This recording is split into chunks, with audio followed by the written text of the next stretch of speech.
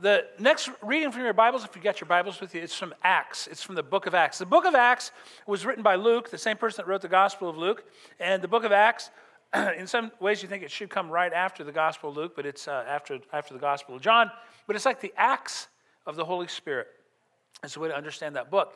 And so, at the very beginning, the very first chapter, verses 1 through 11, here's what's going on. I'm going to set this up, the narrative, if you will. Is that after Easter, after Easter, Mary was the only one looking for Jesus, and he found her. He found her. And then Jesus kept showing up, and he kept finding his followers. And so he commissioned them. He commissioned them. He commissioned us.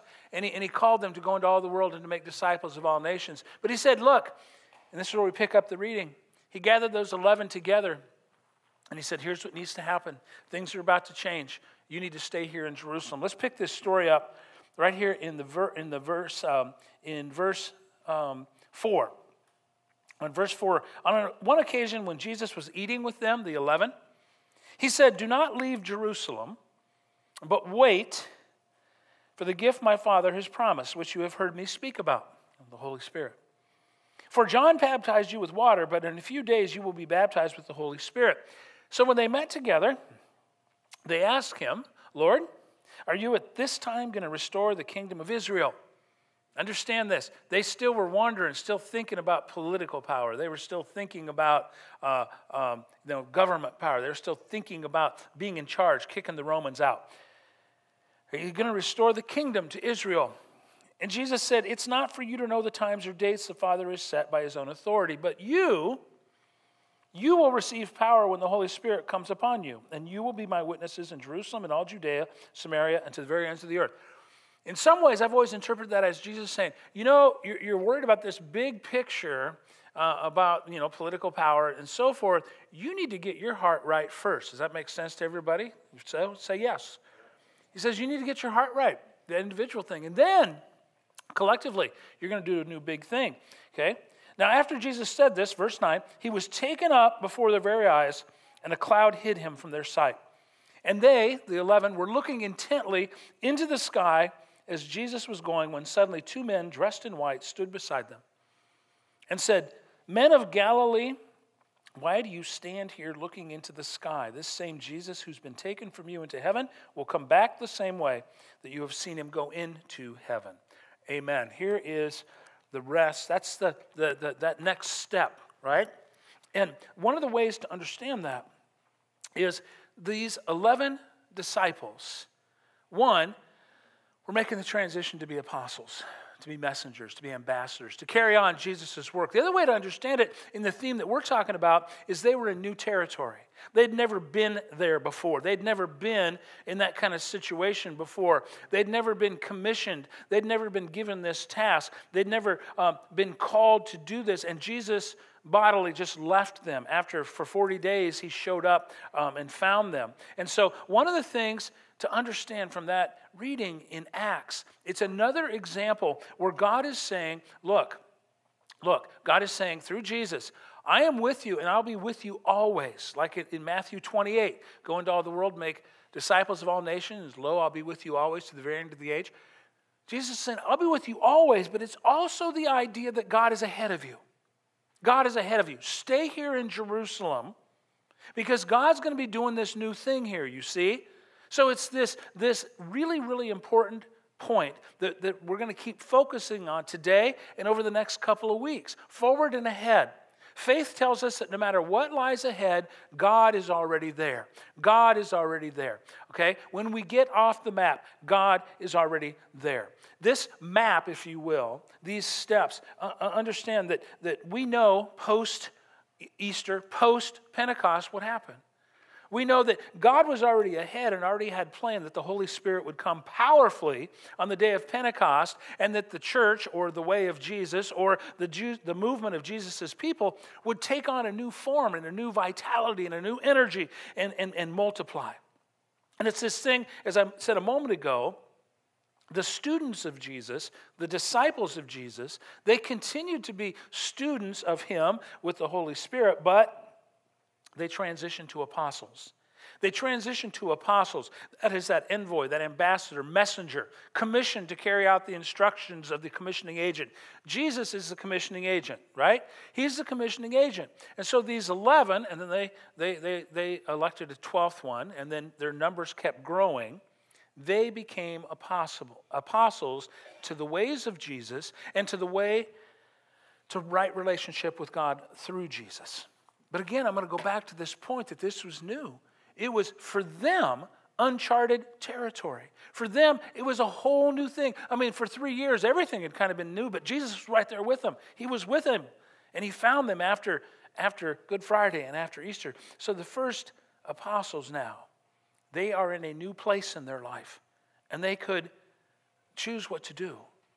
They could deny it, they could say no, they could try and go back doing what they were doing before, or they could just kind of hang out in Jerusalem and not be open and receptive, or they could go forward. And of course, they chose to go forward. They chose to go forward every day in what they did.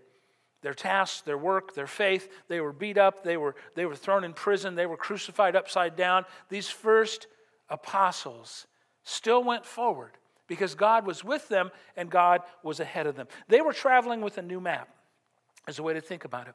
And God was with them and God was ahead of them. And here we are, church, because of them. And it's just framing that, uh, that, that from Acts and understanding it. Here we are because of their faithfulness and because of their willingness to trust God and to allow God to use them and work through them. Here we are, church, a couple thousand years later, because they were they were willing. And so today, and over the next couple of weeks, we're going to be examining this about um, uh, our faithfulness and about our willingness to trust God both on the map and off the map, to trust God not just for ourselves, but for those who will come after us, for those who will come after this. Here's the thing God's people are still being called and still being formed to reclaim the role of apostles. And, and, and, this is something you need to hear. Is that, is that this is a new thing. This is a new thing. I hope a new way to understand this. Is that, is that we are, we are, church, in a place we've never been before. The church, the church in North America especially, the church, whether it's Methodist, Presbyterian, Lutheran, whatever, the Protestant movement, as well as I think Catholicism, we are in a place we've never been before. We are off the map. We are off the map. The world has changed dramatically. It has. We're off the map. And so we need to figure this out because the maps that we've used for many years of how to be the church and how to do church and, and, and, and all that, those aren't relevant anymore, those maps. They're not working. Obviously, last week I talked about nones and dones, right? About the nones, the people that claim no religious affiliation, the people that say, well, I'm spiritual, but I don't want to be religious. Or the dones, the people that say, I'm done with organized religion. I'm done with going through the motions. I'm done with going and being part of some, a group of people that fights all the time. I'm done. And so we're in a place we've never been before. And I mean that. It's not an exaggeration. We're off the map. But yet, God still calls us, calls you, not just other people, not just uh, uh, perfect people, not just uh, whatever people. God still calls you individually and calls us as a body to be apostles. And, and if you've been sitting here in these blue chairs for a number of weeks or months or whatever, you've heard this. You may not remember it. And I get, got to have repetition. But it's this idea that if we don't take Jesus into the world, who's going to? So we're called to be apostles. And that's a big thing. And that's a serious thing. That's a wonderful thing. And that's why this is such an important point. Is that we're being called to go ahead.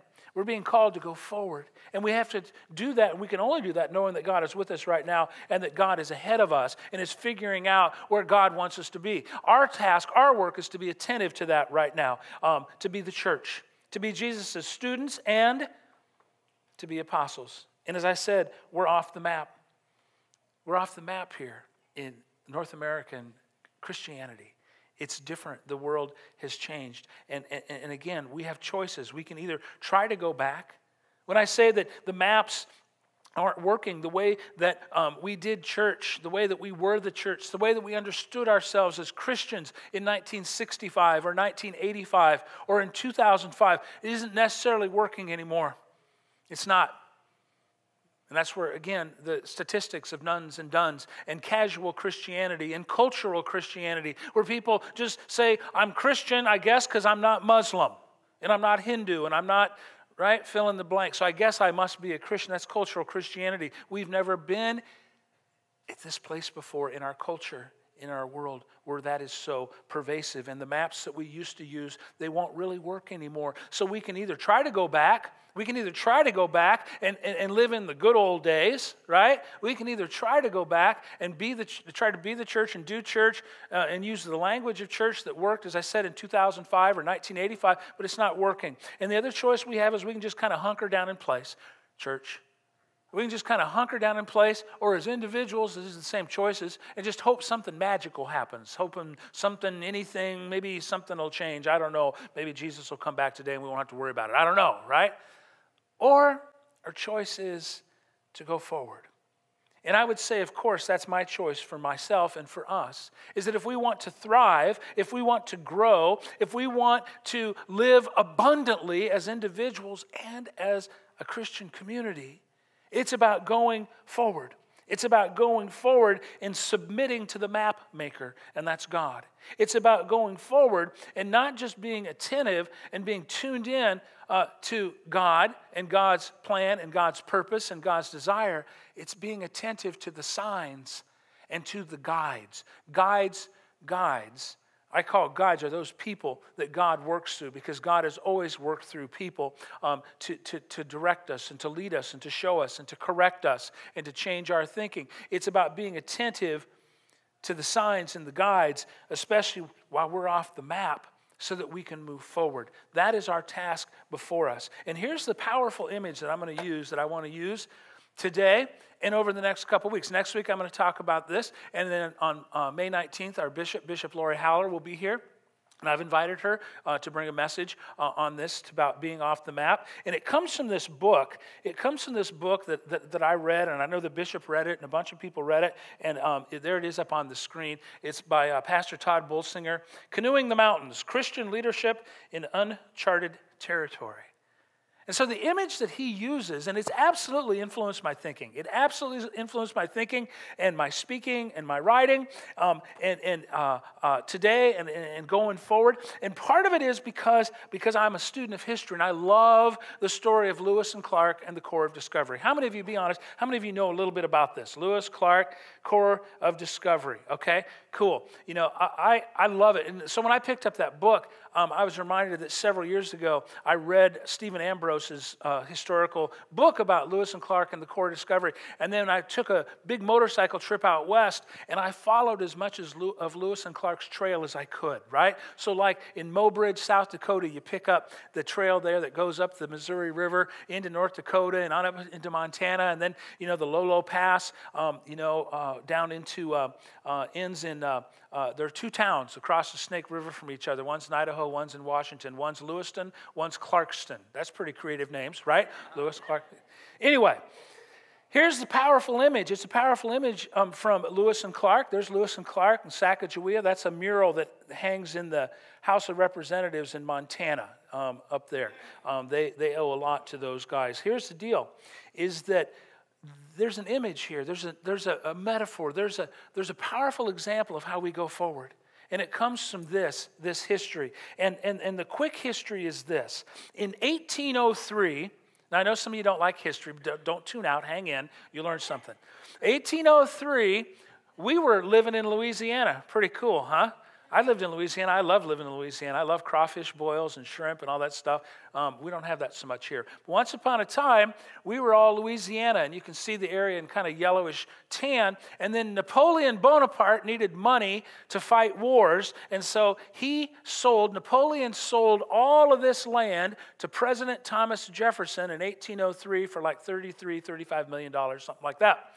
And President Jefferson looked at all this land and even though there had been different explorers through there in the previous 300 years, I mean, that includes Dubuque, right? We had the Five Flags uh, Center. Why? Because we've been owned by all these different countries here in Dubuque, Iowa. But Thomas Jefferson looked at this and said, This area needs explored, it needs mapped. It needs mapped.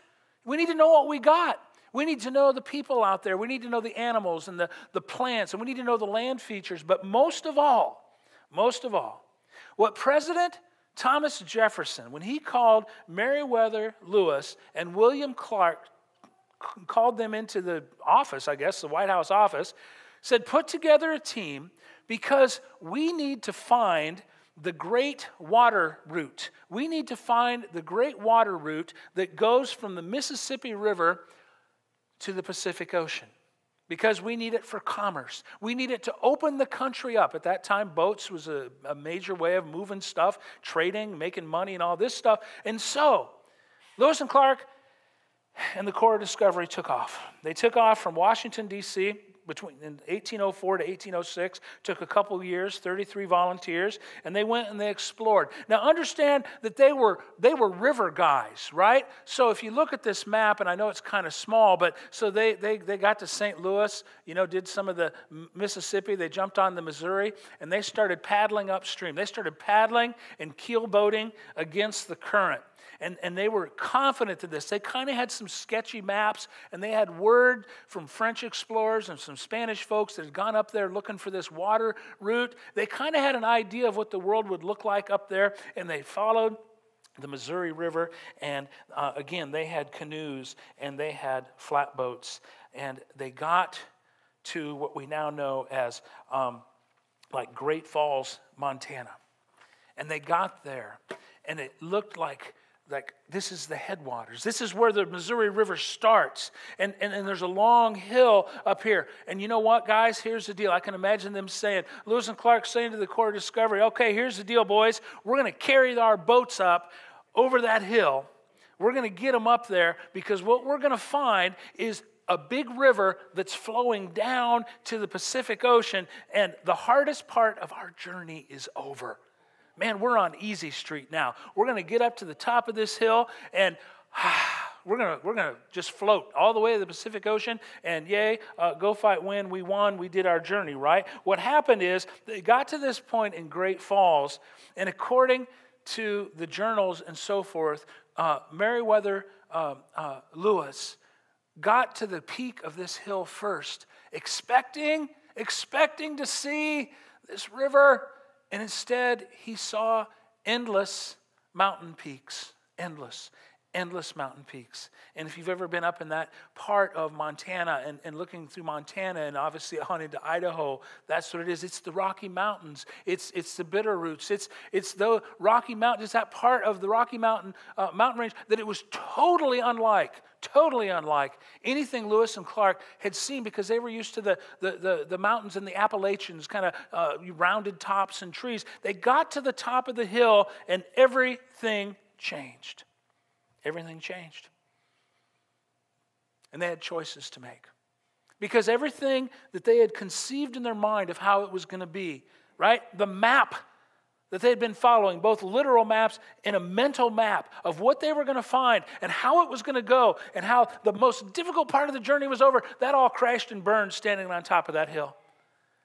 In other words, life just wasn't what they thought it was going to be, and they had three choices, didn't they? They had three choices. And their choices were, and I put that little blue line, that's approximately where they were, right? they thought the Columbia River was on the other side, and it wasn't. The Columbia is clear over there in Washington and Idaho. So, one choice, they could go back to Washington. They knew the way. Fair?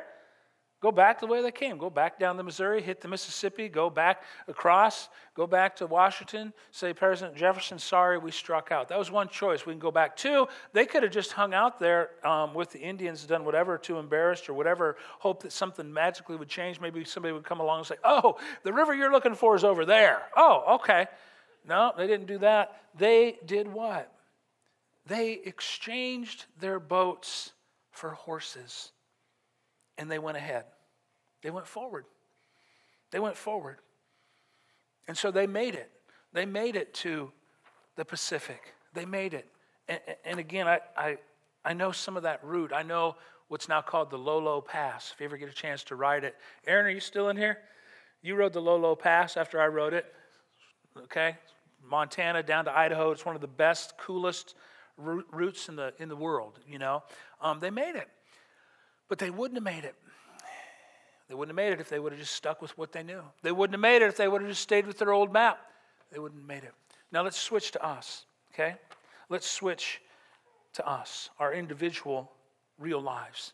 It's this idea of in our lives, we follow maps, either literal maps or mental maps. We follow maps. Maybe it's a career map, for example, like here's a path to take, you know, to, to you know, start down so you'll be happy, you know, um, life map. Work hard, be a good citizen, be a good person, and life will mostly be uh, happy and satisfactory. That's like a mental map that we may have of how to live lives. Or maybe we have a religious map, right? Um, we, we were in the desert of, dis, uh, of, of, discipline, then we made it to the forest of, of focus and the hills of courage and the mountains of happiness. We had to go through the candy cane forest. No, that's another movie. Anyway.